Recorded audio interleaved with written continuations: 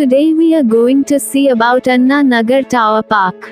Anna Nagar Tower Park, officially known as Dr. Visvesvaraya Tower Park, is an urban park in the suburb of Anna Nagar, Chennai.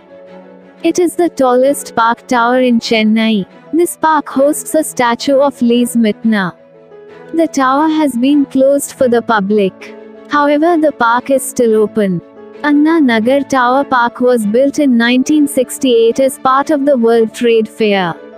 The park was built by B.S. Abdur Rahman and was inaugurated by former Vice President V.V. Giri, in the presence of the then Chief Minister of Tamil Nadu, C.N. Annadurai, on the 21st of January 1968.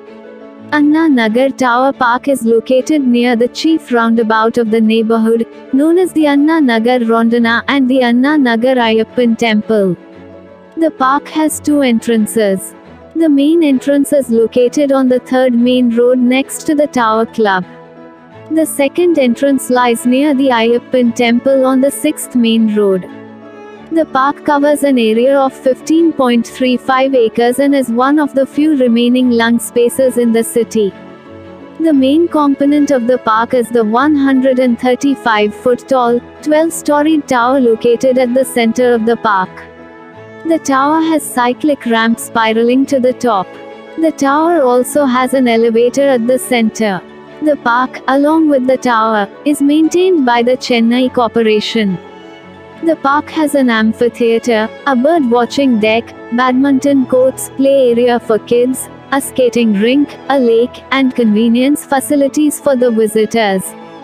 After the December 2015 rains, the lake area is full of large fishes, birds, and turtles and has become a major attraction for the locals.